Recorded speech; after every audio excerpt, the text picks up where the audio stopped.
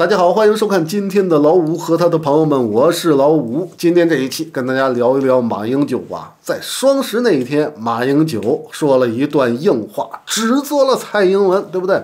说蔡英文，你说两岸互相不隶属是错误的，你违反了《伪中华民国的宪法增修条文》和《两岸人民关系条例》啊。对不对？导致呢，台湾岛内的一些舆论爆了，很多的台湾的记者围着马英九，你给我解释解释，你说这话什么意思？你你想干嘛？对不对？你给我解释解释，解释清楚了。马英九就说啊，两岸是两个地区，不是两个国家，对不对？因为这是宪法里写的，不信你自己去看。讲到这儿的时候，很多大陆的网友可能会很开心，马上又开始了。马先生说的对，马先生说的好，马先生不容易呀。台湾岛内那么大的压力底下，还能说出实话，太难得了，对不对，马先生？但是我要跟大家讲，这就是国民党，这是马英九，活该。为什么我跟大家说他活该？因为自私啊。为什么我跟大家说这就是国民党，这就是马英九的自私呢？大家听我慢慢来聊啊。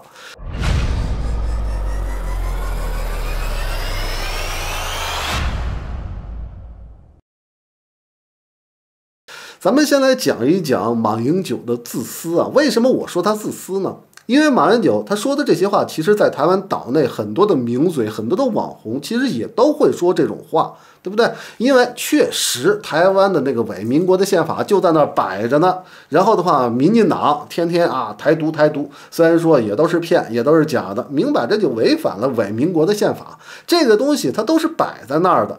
马英九他们这些人啊，讲这些话对于他自己来说有没有利？当然是有利的。不然的话，我也不会说他自私。为什么呢？因为说实话呀，只要是你稍微有点脑子，你就能够判断两岸的方向、两岸的趋势在哪儿。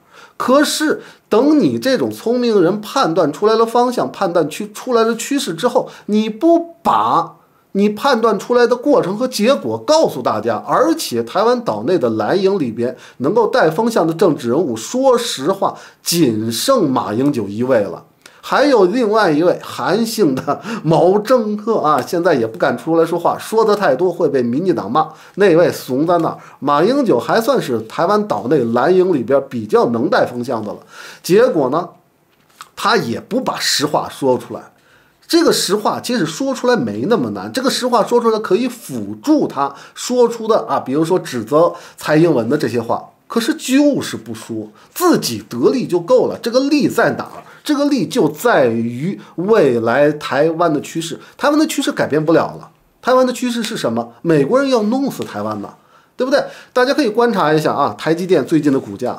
虽然说有新闻报道出来了，创造了九四年九四年以来最大的跌幅，但是你可以去看一看，今年二零二二年一月份的时候，台积电的股价上升到了最高，将近七百块新台币，现在就剩三百多块了，将近跌了一半啊！大家得知道啊，台积电的股价能够往一半儿里去跌，大家知道代表什么意义吗？代表有人在抛售啊！什么意思啊？谁有能力抛售台积电的股票？谁有能力要啊做空台积电？谁呀？大家觉得是谁？只有美国呀！美国现在 这个态度很清楚了，你台湾不听话是吧？你台积电不搬是吧？我从金融方面搞你。其实这也就是一直以来美国人一直向全世界展示那样，我工具箱里边有很多工具哦，你不听话，我这儿有工具能收拾你哦。所以说，大家看到这一点，稍微长点脑子，稍微对于这个形势能够判断的啊，这些人来说的话，都能看到这一点。你的趋势在这儿了。如果台积电成为了美国的首要敌人，美国的工具箱里面那可多了，都要收拾你台积电。现在大家也看到了，台积电股价跌成这个鸟样。对不对？然后的话，从今年一月份的最高端跌到了现在将近还剩一半的一种状态底下，你就能够感觉得到谁在里边动手了。为什么动手？只要开始动手，他什么时候才会停？只有你死的那一天，他才会停啊！所以说，这就是台湾，这就是台湾的未来。台湾没有了台积电，哪怕别说是美国人把台积电、台湾的芯片行业挖走了，哪怕是台积电就剩个半残的状态。就剩半残了，还留在台湾岛上，台湾的经济还剩什么？台湾还有什么经济能撑起来？对不对？什么都没有了，这就是台湾的未来呀。所以说，稍微对于趋势、对于局势能够有判断的话，都知道美国把台湾视为仇寇。你不听美国的话是吧？你跟美国对着干是吧？美国有很多的办法收拾你。那台湾的经济将要被受影响，马上就要被影响了。如果台积电废了，其实台积电对于美国的吸引力也没有多少了。美国从金融方面抛售做空台湾的股票，包含台积电，包含台湾股市。台湾股市最近也是在跌。对不对？然后呢，做空了这些，把台湾的钱从股市拿走的话，其实对于美国来说，退而求其次啊。你台积电不行了是吧？你台积电要完了，你台积电不听话是吧？不走是吧？可以，我让你成为一个空壳公司，你没有钱，没有钱，你的公司没有发展，没有发展会带来另外一件事情，那就是人才要走啊，对不对？就跟前一段时间跟大家说的一个新闻一样，美国那边要做的是什么啊？我们美国人一定要保证啊，台湾被武统之前啊，台积电的人才去美国，坐上去美国的飞机呀。那美国人把话都说白了，对不对？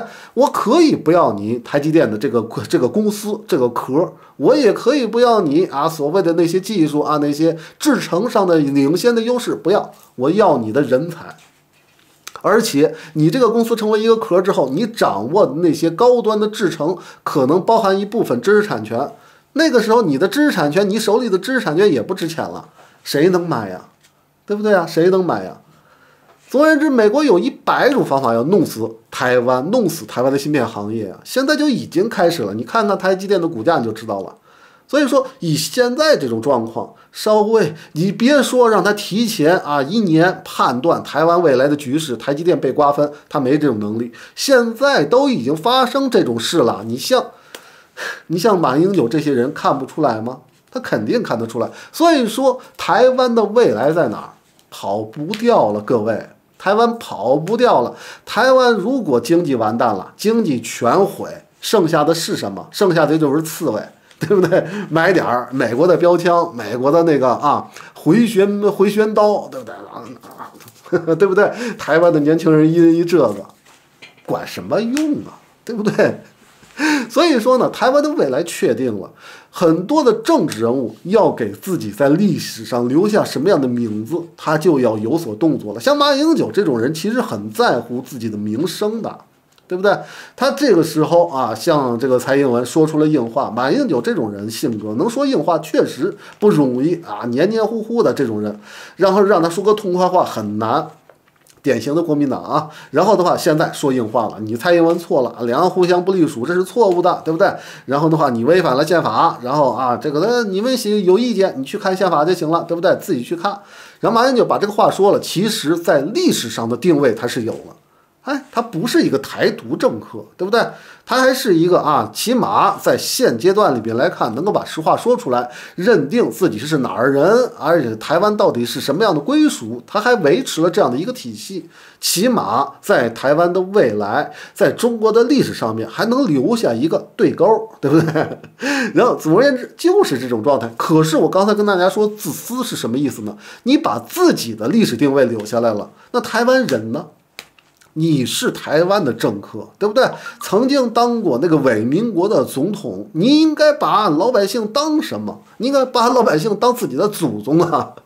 结果呢？说实话，你像马英九他们这些人，尤其是国民党的性格，永远把老百姓当成孙子，他绝对不会当祖宗的。你要当祖宗，应该如何来做？咱们也别当祖宗，你起码当个对平等的人，我好他也好，咱们都是台湾这一这一片土地一块长起来的，咱们一起有个好的未来，能怎样？对不对？如何给一般的台湾人有有一个好一点的未来呢？说实话。对不对？不用编假话，不用你说瞎话，把实话说出来。这就是我最近一直以来跟大家强调的：国民党人要说实话，就是不说。对不对？自己的名声留下来了，哎，自己的名声啊，我就是啊，能够在中国的历史上起码有一对勾吧，对不对？然后的话，台湾就是中国的领土，对不对？起码我只要守住这个宪法，这个目的也就达到了，对不对？共产党也不会奈我何。未来假如台湾统一了，我马英九也不会出都出太大的问题，对不对？所以说，自己保住了，你保保别人。什么叫保别人？实话，什么实话？让台湾人知道谁在坑他。就这么样一个简单的一个事情，对不对？民进党在挣扎，拼命的挣扎。你就看一看民进党蔡英文啊，包含那个委台湾的经济部，对不对？你看看都在拼命的挣扎。然后的话啊，不能搬台积电，不能搬，只有留在台湾岛上面啊，这个大陆才能依赖于我们，大陆才不敢动手，对不对？美国你也得保卫台湾，我们要维持台湾的这个供应链。布林肯，你说什么台湾的芯片严重威胁了啊？这个世界的经济啊，没有威胁，没有威胁，就是没有威胁。民进党在挣扎，但是这个挣扎的这个态度，其实大家基本上也快看明白了，他其实是向大陆在挣扎嘛。这个答案很明显，可是你马英九，你看到了民进党都已经有了这种表现，开始跟美国人喊硬话了。你国民党应该做什么呢？对不对？你应该告诉台湾人，谁在害他们，谁在坑死他，谁在让台湾变成一个穷岛，谁让台湾人未来 赚不着钱，穷死啊！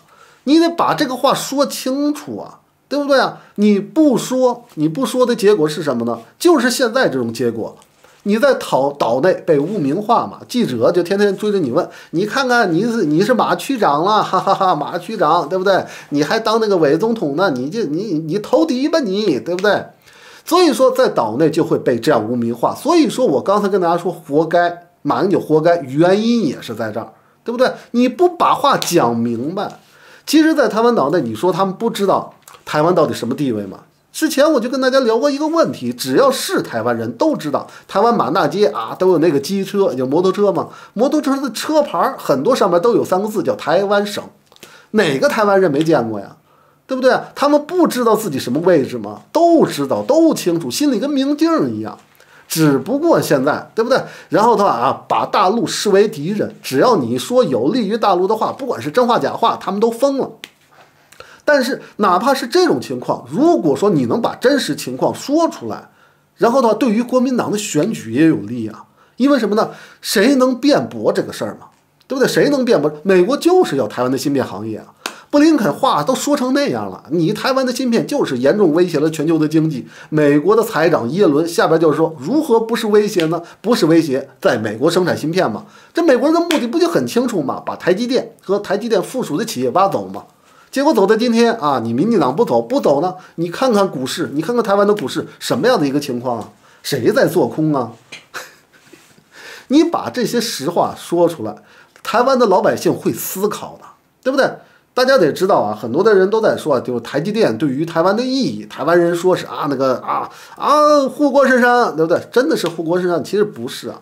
你之前跟大家说，台积电被搬走会有什么样的影响？就是台湾的芯片行业被搬走嘛。台湾最好的行业没有了，其实还有另外一个影响。对于一般的台湾人来说，台台积电在台湾的股市，它确实让很多的台湾人赚到了钱，对不对？但大家都拿点台积电的股票，那也算是沾了台积电的光。你台积电越做越好，越做越做越做越棒啊！大家跟着一起赚钱，你的股价往上去走，哎，我们兜里的钱越来越多啊。台积电就是这样的一个这样的一个种状态，而且台积电成为了台湾股市主力股，唯一一个主力股，也就是这样。所以说呢，台积电其实在台湾，在台湾的股市上市，也是在向台湾人分利。可是台湾台积电被搬走，那台湾的这帮买拿着那个台积电股票那些股民怎么办？也要倒霉啊！所以说，只有你。国民党只有你马英九把实话说出来，然后的话，这些拿着台积电股票的这些人才知道谁是敌人，对不对？然后的话才知道啊，包含台湾的老百姓啊，觉得啊，我们台积电护国神山，挖，我们护国神山的是美国人，让让他们知道这个事情，他们才会想，对不对？之前啊，天天跟美国人啊那个什么赔笑脸的啊，民进党，对不对？把美国人抱美国人大腿的民进党啊，那就是个坏蛋，对不对？然后的话，你国民党才有正当性啊！什么叫正当性？国民党大家也都知道，嘿，只有中国的中上阶层的政党，有点士大夫的特征，对不对？你得为民请命啊！你得把话说出来吧，为民请命啊！你不能这么自私啊！当然了，我跟各位讲，他那个自私我也能理解，得罪不起美国人，对不对？然后的话，你像马英九这种人啊，希望在中国的历史上能够打个对勾，而且未来假如统一了，那未来在，在这个老共的面前可能也会好过一些。不能得罪老共，但是他也不敢得罪美国，对不对？这就是大家看到了国民党的政治人物天天在那儿亲美、亲美、亲美、亲美反共、亲美有日和路，天天这么喊，永远离不开亲美。一个主要的原因，不敢得罪美国人，害怕。虽然说能理解他这种害怕吧，但是说实话，你国民党是不是个政党啊？你作为一个男人，你是不是应该勇敢一点呐？对不对？你为了中国人做点事儿，对不对？问题是，他绝对不会的，他只为他自己做事儿啊。大家得知道啊，他说出一些实话那是理所应当的，他不说实话那才应该啊千刀万剐呀。刚才跟大家讲到了这个国民党的这个党性啊，有点士大夫的特征，对不对？然后的话。士大夫的特征，现在连为民请命他都不会了啊！他只会保住自己的利益。当然了，这个东西啊，大家可能对中国历史上比较熟的话，观察一下啊，这个明末的党争，对不对？天天啊，我们都是为国为民的，对不对？我们跟啊满清跟满人拼了，对不对？跟他死磕，结果呢啊，清朝一来，当了清朝的大官，这种啊士大夫，你看一看有多少啊？对不对？跟那个时候很像啊，一模一样啊，只顾自己的利益，嘴上说的比谁都好听。但是的话，你连说好听啊，为民请命这种事儿，你连说都不说了。你为了老百姓，你说点实话，哪怕挨点骂又如何呢？不说不说就不说，为什么呢？因为我害怕。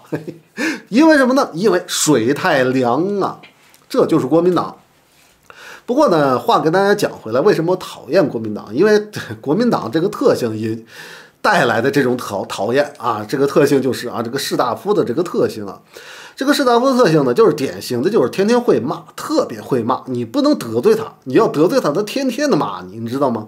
就是骂你几百年。之前跟大家聊过啊，这个士大夫那怎么骂这个骂自己的对手的？比如说啊，比如说阉党，对不对？魏忠贤，对不对？魏忠贤是不是好东西？我不好说，反正不是好东西，也不见得是个完全的坏东西。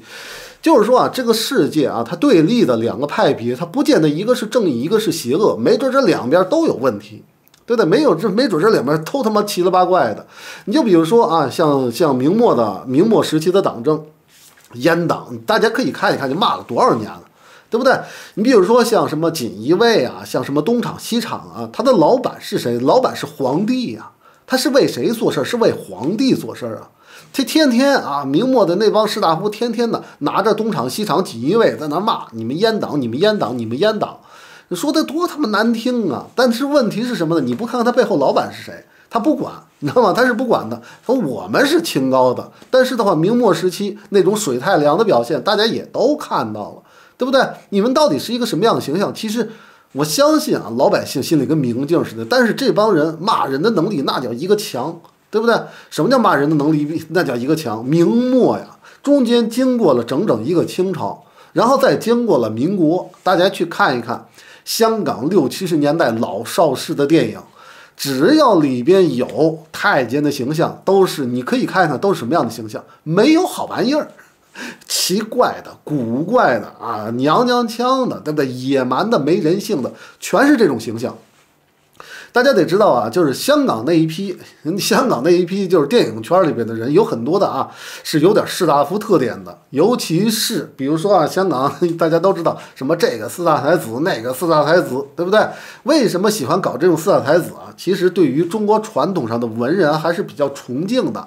所以说呢，这些人给香港的这些文化圈带来了很多原来士大夫的那套东西。香港的电影圈也遗留了很多原来士大夫的那些道德观。士大夫认为谁不好，谁那就是坏蛋嘛，对不对？谁不好呢？刚才跟大家说了，明朝的电影只要讲明朝那些事儿，对不对？只要讲到了党争，出现了这个太监的形象，没好人，骂你骂了多少年？从明末一直骂到了这个香港，对，骂到了新中国新中国时期的香港电影里边的一些形象，多少年呀？不带停的骂的。对不对？不仅是如此，你就看看国民党，谁是他的敌人，他骂谁，对不对？国民党推翻了这个满清啊，是啊，满清不好，满清坏，对不对？但是的话，你看看他骂的 还有谱没谱了啊？比如说啊，像雍正啊，得位不正，他也在说。比如说啊，这个清朝到最后都是啊，都是一帮啊昏庸的啊，然后的话不知道这个世界有多先进的这种谣言出来多少年，对不对？那清朝到底是为何而亡？不管为什么呢？到底为何而亡？是因为他自己坏，他们没脑子、蠢笨，用这种方式来骂。清朝的灭亡有它必然的原因，但是清朝的灭亡绝对不是那么简单的原因。但是它就是骂，为什么呢？因为我民国有正当性啊，推翻清朝的正当性就来源于此。当然了，这也算比较正常。但是接下来继续推翻清朝的有另外一方势力，袁世凯呀，北洋军阀呀。对不对？然后北洋军阀这帮军阀在这个国民党眼里什么样的形象？继续去看香港老电影嘛，骂你多少年，对不对？军阀啊，那就是什么荒淫的、没文化的、野蛮的、土匪的、愚蠢的，只要沾军阀都是这样。可是军阀都是这种形象吗？军阀里边有文化的，然后造建大学的也有，但是他当军阀当然有军阀的落后性，这个落后性绝对不是因为什么好色愚蠢，军阀里边有这种，但是的话，这不是军阀能够代表所有军阀的一种形象。但是总而言之，只要你是北洋军阀，只要你是国民党的敌人，骂死你照样骂，对不对？不仅如此，老共呢？对不对？老共呢？泥腿子、土匪、野蛮人，再去看香港老电影，都是这种形象啊，对不对？老蒋、小蒋到台湾之后，天天的骂老共啊，老共有问题，老共这儿有问题，老共那儿有问题，对不对？老共这儿也不行，老共那儿也不行啊，全都是 AK 啊哒哒哒，全是这样的，对不对？导致啊，那导致后来到八十年代，虽然说呃台湾人已经知道了啊，这个反攻大陆不可能，但是的话，台湾人会生理上的厌恶大陆，不想跟大陆站在一起嘛，野蛮嘛，土匪嘛，对不对？也就导致了现在的两岸的一种状态。总而言之，这就是国民党，他骂人的能力很强。他士大夫那一面就剩下骂人了，对不对？为民请命什么都没有，对不对？嘴上说的很好听，我在为民请命啊，怎么怎么样？你 问题实质做事的能力没有，没有说能够建构一个论述的能力，这就是现在国民党。啊，你蔡英文这儿错了，你蔡英文那儿错了，对不对？你蔡英文这个说的不对，那个说的也不对，但是你给台湾人一条出路啊，不说不说就是不说，我就是不拿出路，对不对？你为什么啊说这种话呢？是因为宪法里面写了，但是他不说，他看看到了台湾的趋势，台湾的未来在哪儿？他看到了，因为现在正在发生，有人在做空台积电，有人在做空台湾的股市，为什么呢？总而言之吧，这就是国民党。总而言之，很多的同学不要带入到国民党那个角度去看问题。你带入到国民党那个角度看问题，你把它立成正义的，你就大错特错了。你只有看清楚了国民党的本质，你只有看清楚了国民党到底是怎么回事，他身上的那种士大夫的性格，他无能、自私、水太凉，然后天天会骂人，天天在那儿啊骂这个骂那个，骂几百年。天天的啊，没有建构能力，天天的只为自己的未来着想。你看清楚了这个，你也就能够分清楚国民党了。其实国民党只要能够做好了，其实在未来，假如两岸统一了，假如就像香港一样一国两制也搞选举，国民党还能留有一席之地。但是的话，我不希望 国民党这么作死自己，挺好的，对不对？在台湾岛内继续的做烂自己的口碑。让台湾人厌恶他，对不对？你说出来一些啊，虽然说是实话，但是现在台湾人确实不爱听。但是的话，你得告诉台湾人实话，让台湾人自己去动脑子，自己去得出那个结论啊。你要不说的话，未来你就是个死。哪怕未来统一了，国民党在未来的，假如是一国两制架构里边的这个台湾岛的政局里面，你也没有任何的位置，没有任何的位置留给你国民党。当然了，这是好事儿，这是我乐于见到的。总而言之，国民党你自己不争气，不要赖别人，没人会捧着你的，没人会哄着你，你是大宝贝儿，你是这个人上人，我们都爱你。不可能，自己要检讨。你要想能够在这个历史上继续生存下去，就得自己动脑，自己应该要做什么？要做那些自私自私的事儿，水太凉，天天骂人，还是能够想明白，能够带起一片风向？如果学会了带风向，学会了把实话说出来，还是有希望的。但是啊，我跟各位讲，希望几乎为零。好吧，今天这一期就聊到这儿了，感谢各位啊。